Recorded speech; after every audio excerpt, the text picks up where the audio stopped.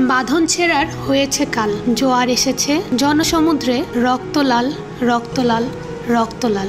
উনিশশো একাত্তরে বাঁধন ছিঁড়ে যারা নিজের লাল রক্তের জোয়ারে ভাসিয়ে দিয়েছিল মাতৃভূমি, তাদের মধ্যেই অন্যতম একজন ক্যাপ্টেন মহিউদ্দিন জাহাঙ্গীর। আজ এই ভিডিওতে মুক্তিযুদ্ধের অন্যতম এক বীরের গল্প শোনাব। তবে এ গল্প শুধুই লাল রক্তের নয়, এ গল্প বাঁধন ছেঁড়ার অদম্য গল্প। মহিউদ্দিন জাহাঙ্গীর উনিশশো ঊনপঞ্চাশ সালের সাত মার্চ বরিশালে জন্মগ্রহণ করেন। তার পিতা আব্দুল মোতালেব হাওলাদার ছিলেন কৃষক এবং মা সাফিয়া বেগম ছিলেন গৃহিণী। খুব সচ্ছল নয়, বরং জীবন কেটেছে তার দৈন্য দশায়। তবু পড়াশোনা চালিয়ে গেছেন, সে অন্যরকম আরেক যুদ্ধ করে। চে মাও লেনিনের জীবনী পাঠ করা এই মানুষটির, জীবনীও যে একদিন গর্বিত বিপ্লবীর মতো করে লেখা হবে, তা সম্পর্কে তার কি কোনো ধারণা ছিল কিনা, আমার ভীষণ জানতে ইচ্ছে করে।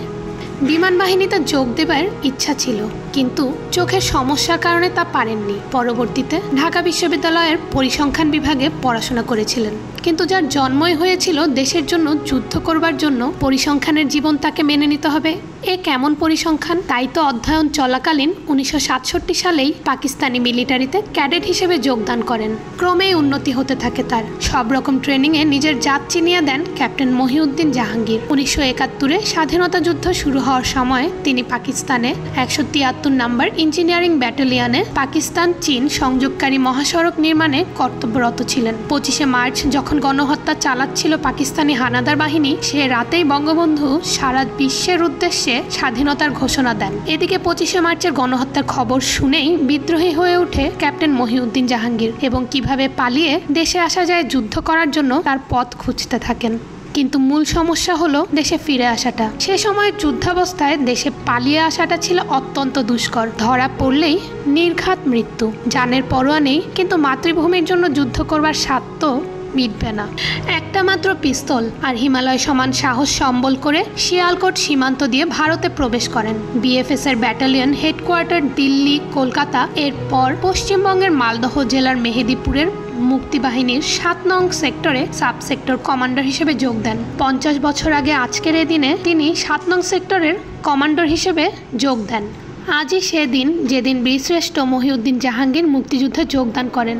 সেক্টর কমান্ডার নাজমুল হকের অধীনে যুদ্ধরত মহিউদ্দিন জাহাঙ্গীর পাকিস্তানিদের জন্য ছিল একটি ত্রাসের নাম, যাকে সবাই চিনত টাইগার নামে। একবার এমনও হয়েছিল একজন মহিউদ্দিন জাহাঙ্গীর আক্রমণ করতে পারে এই ভয়ে হাজার খানেক পাকিস্তানি প্রতিরক্ষা ক্যাম্প থেকে পালিয়েও গিয়েছিলেন। বিভিন্ন রণাঙ্গনে অসাধারণ কৃতিত্ব দেখানোর কারণে তাকে রাজশাহীর চাঁপাইনবাবগঞ্জ শহর দখলের দায়িত্ব দেওয়া হয়। একটি অপারেশন প্ল্যান করলেন ভারতীয় মিত্র বাহিনীর সাথে। এগারোই ডিসেম্বর ভারতীয় গোলন্দাজ বাহিনীর গোলাবর্ষণের কথা ছিল চাপাই নবাবগঞ্জে অবস্থিত পাকিস্তানি বাংকারে। কিন্তু কোনো কারণে তারা তা করেনি এবং দুদিন পর্যন্ত তাদের সাথে ওয়ারলেসে বিভিন্নভাবে যোগাযোগ করার চেষ্টা করলেও কোনোভাবেই যোগাযোগ করা সম্ভব হয়নি। এতদূর এসেও খালি হাতে ফিরে যাবেন তা মহিউদ্দিন জাহাঙ্গীর মেনে নিতে পারছিলেন না।